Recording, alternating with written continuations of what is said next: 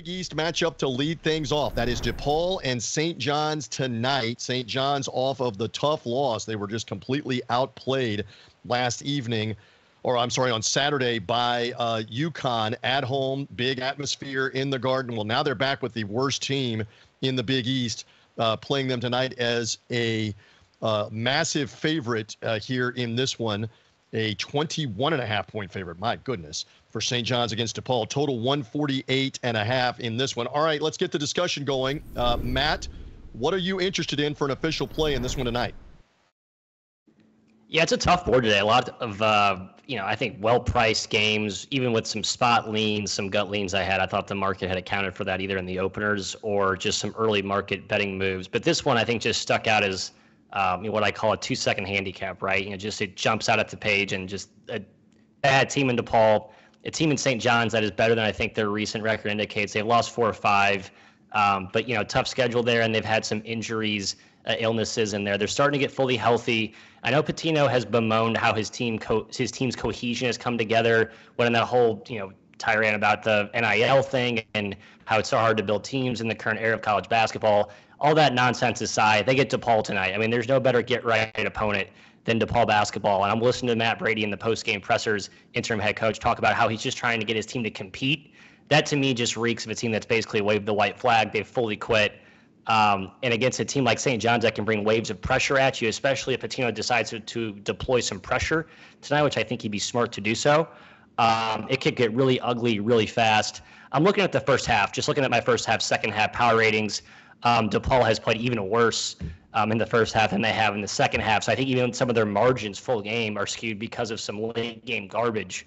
Um, going to target first half here at St. John's that comes off angry and disgusted after that UConn performance. Um, again, very simple, nothing complicated, nothing rocket science here. Just going to hit St. John's first half against the Demons.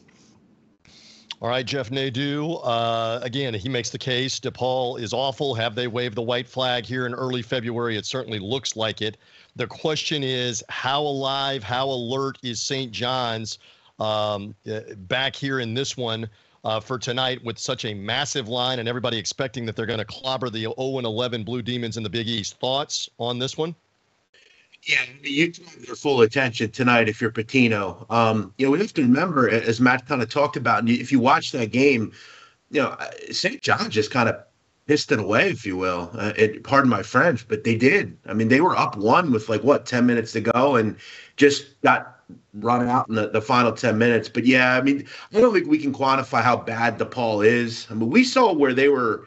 You know, markedly better when they got rid of Tony Stubblefield, where they weren't losing by 25, they were losing by like 18. Uh, but then, I mean, that Seton Hall game was that might have been you have to ask yourself what the more pathetic performance was, DePaul or Miami. Obviously, you'd say Miami, but I mean, DePaul, I mean, that game was rough against Seton Hall. They followed up getting destroyed by Xavier. They're one of the worst teams in the first half defensively in the country. Uh, they allow almost 40 points a game in the first half. I think this is a nice play for Matt. I actually have kind of a similar thought on another game we're going to get to.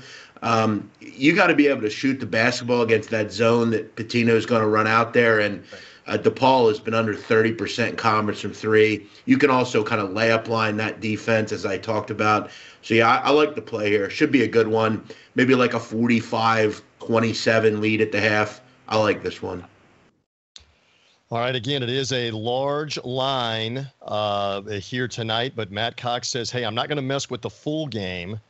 Uh, but he is going to mess with the first half. St. John's here. He'll lay the number in the first half. And this is interesting, guys. I didn't really look into this. This is not at the Carnesecca. This is uh, Hall on campus in Queens. And Maddie, I see you uh, kind of nodding along here that it is in a different arena in Elmhort, New York, the UBS Arena. So it's kind of like a home away from home for St. John's uh, as well here. Part of Rick Pitino trying, I guess, to help uh, gather as many fans in and around New York right. City as he can for this team, right?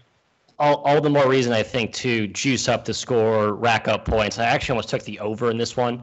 Um, but yeah, I, I, think you could also argue that the change in venue hurt scoring. Maybe it's a different backdrop. People, players, not as familiar with it. But I think right. the fact that Pitino has been so adamant about trying to play more at the Garden, play other venues, really draw in the regional New York area fan base. I think that kind of points to he really wants to put points on the board, wants to get fans engaged. Again, another reason why I think they put the foot on the gas and stopped DePaul here early.